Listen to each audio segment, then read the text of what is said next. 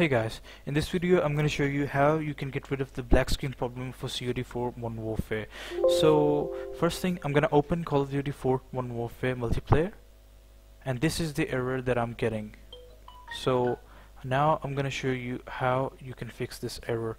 All you have to do is to go to sound options, open sound settings and now click on manage sound devices here you can see stereo mix and microphone. All you have to do is to enable stereo mix. Microphone is optional.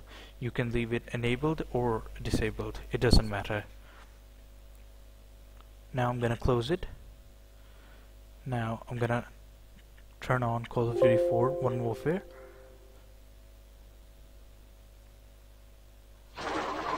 Now you can see you are not getting an error anymore. It's working fine. Wait a minute, just wait a minute. Now I've set the resolution to 1080p. Now I'm going to show you that the servers are available and the game is working. Here you can see him. Now the game is going to work properly. Hope this video helps you. Please leave a like and don't forget to subscribe. Goodbye.